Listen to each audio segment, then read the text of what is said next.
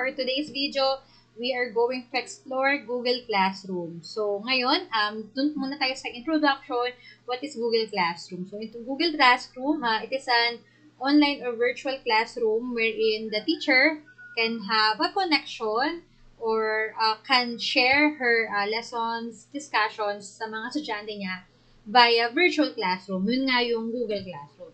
So let's explore Google Classroom. So what is Google Classroom? Um, Google Classroom is like what I've said na ito yung magiging bridge between the teacher and the student since uh, face-to-face uh, scenario is not allowed. So ito muna yung magiging classroom natin, natin virtually. And this is a free account or free online tool na kung saan magkakaroon ng uh, advantage.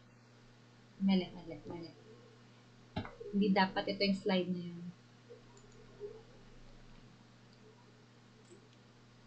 Hello everyone! For today's video, I am going to share with you and explore.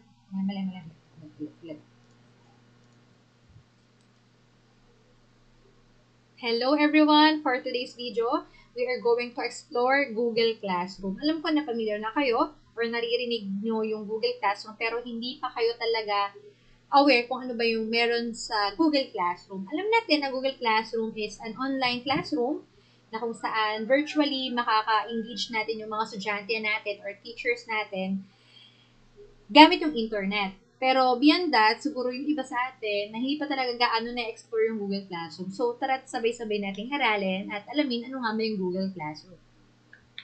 So, Google Classroom is a free collaboration tool for teachers and students. So, itong uh, Google Classroom, it is an online uh, virtual classroom wherein si teacher pwede niya i-share yung mga lessons niya, pwede siyang magkipag-engage sa mga estudyante niya, gamit nga yung internet. Kasi magkakaroon kayo ng classroom within, within, uh, within the system na kung saan pwede kayong magkaroon ng interaction despite that we don't have face-to-face scenario. So, just upload your uh, modules, lectures, assignments, Um, and then, makita yun ng estudyante, pwede nilang i-download or sagutan mismo doon. So, who can use Google Classroom? Sino-sino ba yung pwedeng gumamit ng Google Classroom? Um, lahat ba pwede or pili lang? Okay, so ito yan. Um, Google Classroom is included as a free service for anyone with personal Google account. So, it means, ang requirement lang para makapasok ka sa Google Classroom or magkaroon ka ng Google Classroom ay personal Gmail or personal Google account. So, yun lang, magkaroon ka lang ng Google account, pwede ka nang makapasok sa Google Classroom. Para sa may mga Google account, very good kasi ilalagin nyo lang yung account nyo. Pero sa mga wala pa, um, meron tayo ditong short uh, steps-by-step uh, procedures paano makagawa ng Google Class, uh, Google account. So, creating Google account. So, first, search nyo syempre sa may Google engine nyo na create Google account and then, click nyo yung create your Google account. Kaklik nyo, uh, lalabas ito na lalagyan nyo ng name nyo, nyo yung name nyo, apelido ninyo, and then yung desire nyo na username, kung anong gusto nyo gamitin. And then, of course, the password. After ma-encode yung mga informations, click next. Third at one, lalabas yung Google privacy terms. Siyempre, babasahin natin yan. And then, click agree if you agree. After nun, charan! Meron na kayong Google account. So, lalabas doon, welcome, then yung pangalan nyo. And, ayan na, you can customize that. You can change color, uh, you can change themes, and pwede nyo lagyan ng picture nyo. Okay, so, yun. Para sa mga walang Google account, so, yun yung steps-by-steps -step procedure. Pero kung meron na, didiretso na tayo sa pag-login ng Google account. So, what does Google Classroom do? Ano nga ba yung function? Para saan ba? Um, sabi ko nga, itong uh, Google Classroom is an online uh, uh, classroom and pareho lang din siya ng Edmodo, pareho lang din siya ng Schoology. Those are um, online classrooms din na pinagkaiba nga lang nila ay yung mga different features. Features na pwedeng magamit ni student at saka ni teacher. So, what does Google Classroom do? Facilitates communication between instructor and student. So, sabi ko nga, this will serves as a bridge sa estudyante at sa teacher. Gawa nga nung meron tayong kinakaharap na pandemic na face-to-face scenario is not allowed. Make assignments. Kapag may mga gustong ipagawa sa teacher, pwede siyang mag-upload, mag-post doon, or mag-upload ng files. Encourages parent participation, um, particularly for elementary, from kinder to grade 6, ages from 5 to 6 at to 12 or 13 years old. Yung mga ganyan, sabihin natin na marunong na sila gumamit ng laptop or ng computer, pero kailangan pa rin ng supervision ng parents kapag gagamit ng Google Classroom. Gawa nga din na may mga iba't ibang kailangang uh, pindutin na hindi basta-basta may maklik lang. Kailangan din na titingnan din mabuti. So, kaya kapag gumagamit ng Google Classroom, dapat kasakasama din si parent na mag-supervise or magturo kung paano gumamit. Then, make announcements. Store classroom materials. Kasi dito sa may Google Classroom, meron tayong tinatawag na student uh, drive or classroom drive na kung saan lahat ng mga i-upload mong file na i-store lang doon. So, para siyang USB within the virtual classroom. And connect students with their classmates. How? Kasi meron doon feature na kung saan pwede silang mag-comment, pwede silang mag-type, mag-reply. So, nagkakaroon ng interaction kapag nagre-reply sila sa isa't isa or nagko-comment sila sa gawa ng mga classmates nila, lalo na kapag nagugustuhan nila yung gawa ng classmates nila. So, these are my references used dito sa short discussion natin. So, yun. Thank you for listening sa short discussion natin. Ngayon, pupunta na tayo sa um, actual uh, Google Classroom natin. So, let's go! Okay, nandito tayo ngayon sa next part na kung saan pupunta gusto mo tayo sa actual Google Classroom. Um, type lang natin sa search engine, uh, Google Classroom. Pagka-type, i-click nyo lang tong Google Classroom. So, meron akong na dalawang, na nagawang dalawang example na class, uh, science class at saka pang grade 1, pero papakita ko na lang din sa inyo kung um, paano gumawa, mag-create ng class. So, halim halimbawa, marami akong sections na hawak. Kung halimbawa, kung meron akong limang sections na hawak, lima yung gagawin kong classroom. Pero ako, uh, since grade 1 teacher ako, um, isang uh, klase lang yung hawak ko, pero different sections. Pero kahit different, ah, different subjects. Kahit different subjects yan. Pero since isa lang naman yung um, uh, klase na hawak ko ng mga estudyante na kaharap ko, uh, isa lang yung gagawin kong account. So, how to create account ba? Or how to create Google Classroom ba? So, ito, makikita nyo dito sa upper right side, meron dito cross. I-click nyo yan. Kaklik nyo, may dalawang options na lalabas. First, join class, and then yung isa, create class. Pag estudyante ka, kiklik mo yung join class. Pero kapag teacher ka, of course, create class. And then, babasahin niyo yan. Click to, tick, and then continue. Okay. A class name. Um, a class name is required. So, dapat siyang lagyan. So, halimbawa, ako ang class, halimbawa, grade 1 teacher ako, at ang hawak kong uh, klase ay uh, halimbawa papaya. Ah, halimbawa, grade 1. Section, papaya. Halimbawa yan. Subject, um, itong section, subject and room, pwede mo na siyang hinilagyan. Ang required lang talaga yung class name. So, pwedeng hindi na natin yan lagyan. And then, create.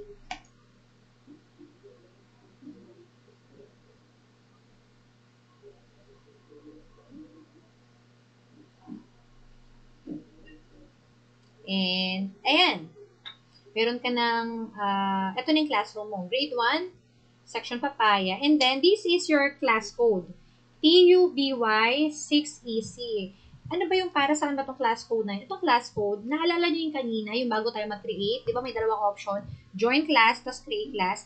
Itong uh, TUBY6EC, ito yung code na ibibigay mo sa estudyante mo para pag mag-join class sila, pag i-click nila yung join class, hahanapan sila ng code at ibibigay nyo itong code na to. Ipipaste lang nila yung code na to doon at makakapasok na sila sa uh, classroom na ginawa mo.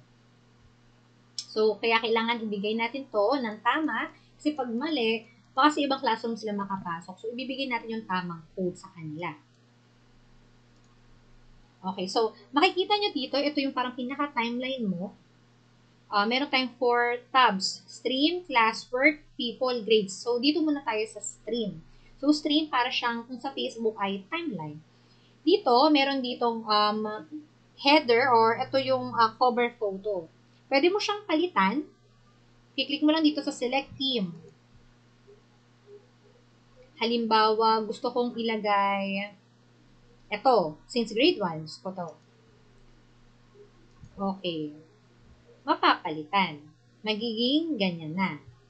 Pero halimbawa may ginawa kayong sarili nyong, nag-edit kayo halimbawa, or may sarili kayong ginawa. Pwede nyong, uh, click naman tong sa baba na select team, click nyo tong upload photo, and then select a photo from computer, tapos halimbawa, um, yan, halimbawa, yan. Halimbawa, ito yung inedit mo, kinostomize mo. Pagka-upload, hindi mo siya full picture na ma-upload, may part lang, may size lang na pwede. So, ito lang yon. Halimbawa, ayan. Then, select last team. And then, ayun, may bago ka ng header. So, sabi ko nga ulit, para lang siyang Facebook na may cover photo.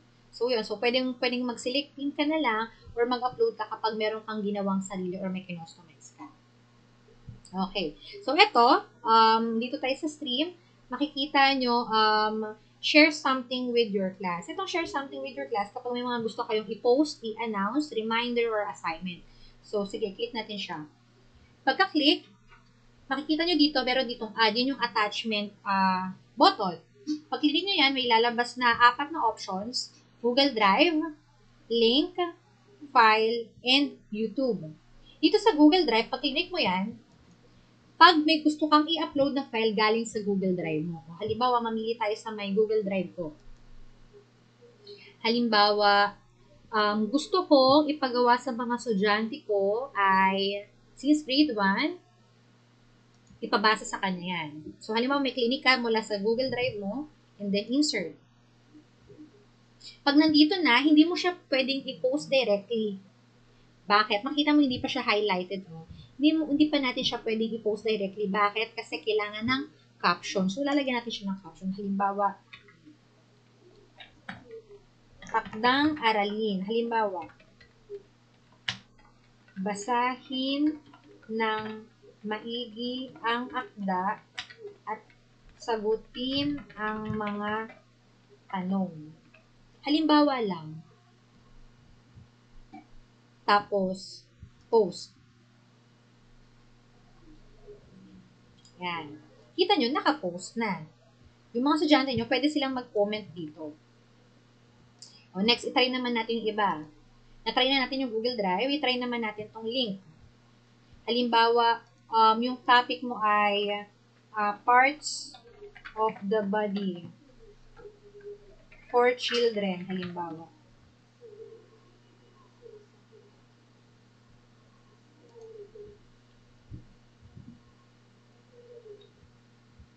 Halimbawa, ito yung link na gusto mong i-upload. So, ita-copy-paste mo yung link.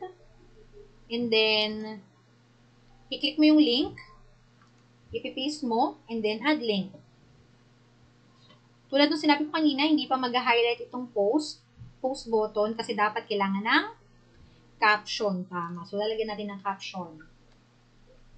Read, read, and read and fami, fami, familiarize, familiarize, ay, familiarize yourself about the different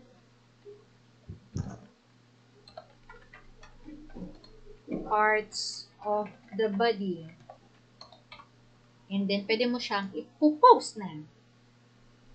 Oh. Next, gawa ulit tayo. Ano ma? Di ba apat yun? Nagawa na natin Google Drive. Nagawa na natin yung link. Ito naman tayo sa file.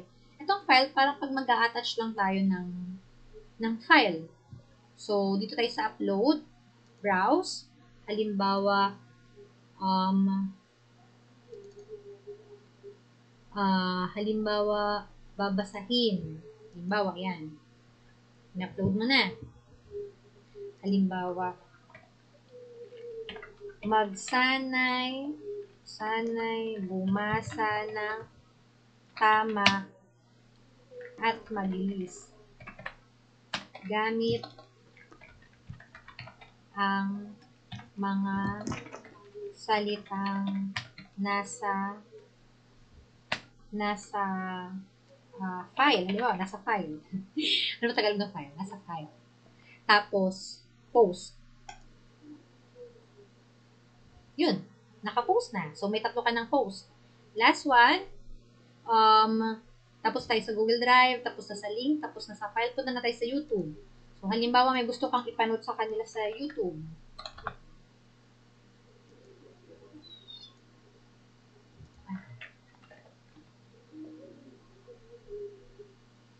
Right. Halimbawa, ang gusto mo ay ito. Gusto mo Gan at aralin ang iba't ibang tunog ng alpabetong Filipino. So, i- ipipis mo lang dito and then i-click mo tong search button and then lalabasan. Makita nyo, hindi pa highlighted tong ad. Bakit? Kasi kailangan mo i-click this video. Click mo yan. Pag na-click mo, o, di ba, nag-highlight na. And then, hindi mo pa siya ulit ma-upload, mapopost kasi kailangan ng caption. Very good. Hal- Halimbawa, ang caption mo, panoorin, panoorin ang video at subukang bigkasin ng tama ang mga tunog ng bawat letra. Halimbawa, ganyan. And then, post. Pero, ah, sige, post. Post natin. okay, nakapost na. So, nakapost na tayo ng galing, ng file na galing sa Google Drive, galing sa link, galing sa file, and galing sa YouTube. Okay. So, halimbawa, may gusto tayong i-post. Halimbawa, um, gusto mong i-post, um, maghanda sa maikling pagsusulit sa halimbawa mag, uh, maganda sa maikling pagsusulit halimbawa lang halimbawa lang yan lang yung announcement mo makikita mo dito meron dito di bang uh, drop down? Makikita nyo dito pwede mo siyang i-drop down. Kung halimbawa pwede mo siyang i-post agad.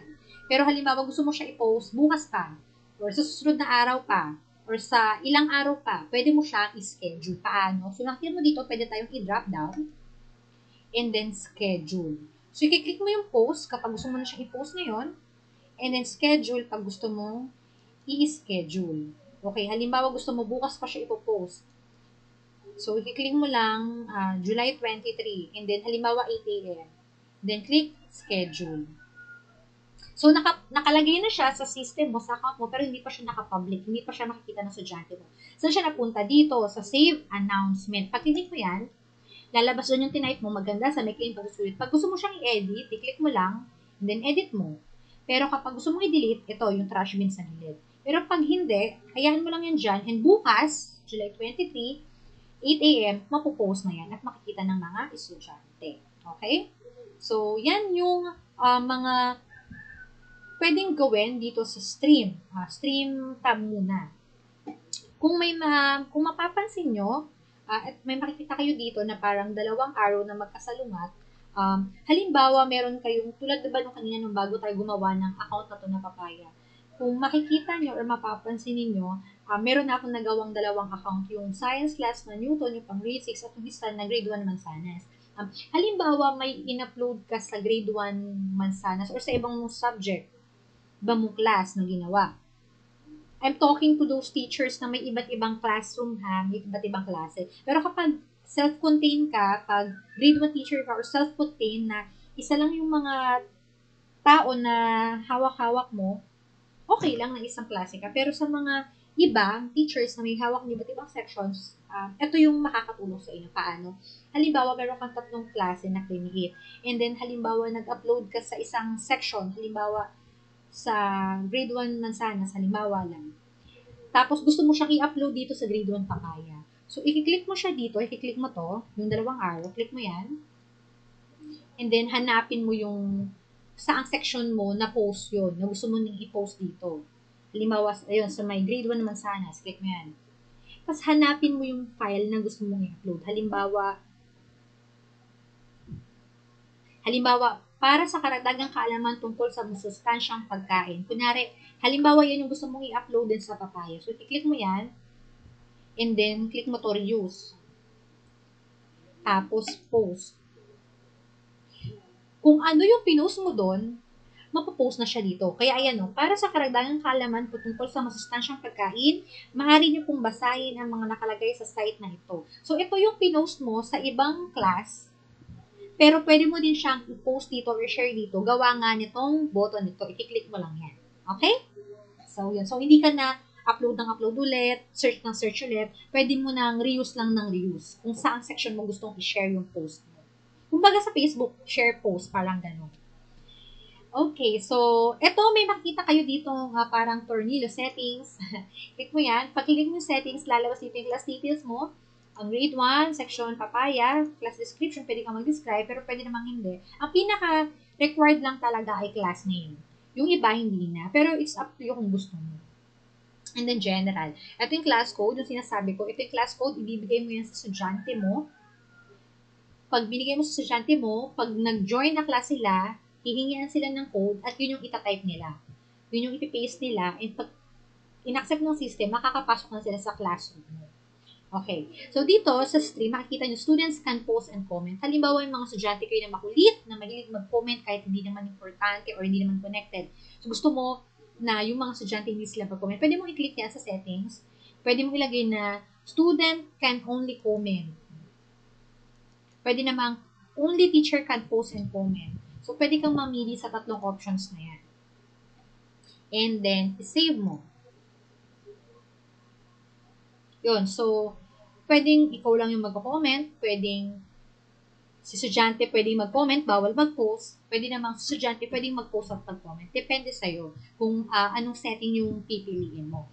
Tapos, question, halimbawa meron kayong dati pang in-upload, mga natabunan na. Pwede mo ba siyang iakyat ulit sa pinakataas? Yes. Halimbawa, gusto mo ilagay sa taas yung post na to, takdang aralin, halimbawa, kasi baka natabunan, baka nakalimutan na ng mga estudyante uh, kumbaga, magpipin post tayo. Ang manggagawin lang, i-click mo tong tatlong dot, move to top. Kapag move to top, yung takdang aralin na kanina nasa baba, ayun, nasa taas na. So, ganun lang ng ganun. Kapag gusto mo siyang i-highlight or i-priority or lagi makita agad ng estudyante, i-click mo lang agad lagi yung move to top. Move to top. Lagi lang ganun. Okay? So, um, dito naman, pag clinic mo tong uh, grade 1 papaya, yan sa taas, mapupunta ka sa account mo, sa may timeline mo. Pero pag clinic mo to, tapos classes, yun yung different sections or classes na nagawa mo. Di ba sabi ko nga kanina, may nagawa na ako dati na grade 1 na sanas, may trinay din ako na pang science, tapos yung kakagawa lang natin na um, ngayon na grade 1 papaya. So, mapupunta doon kapag clinic mo yung classes. Okay. So, um, siguro yun na lang muna yung um, tutorial natin para sa um, Google Classroom. Yun muna yung mga pinaka-basic at dapat munang ma-master nating mga teachers sa pag-handle ng Google Classroom. So, yung mga susunod ko pa pong uh, i-upload ng mga tutorials para sa classwork, para sa people, and para sa grades, Um, i-upload ko din po yun dito sa my YouTube channel na Miss Pedicat. Don't forget to like and subscribe my YouTube channel and click the bell para ma-update kayo agad once na nag-upload na tayo ulit ng bagong tutorial. So, different features pa, i-explore pa natin yung Google Classroom. Kaya, keep in touch and don't forget to subscribe my YouTube channel. Again, thank you very much and see you again!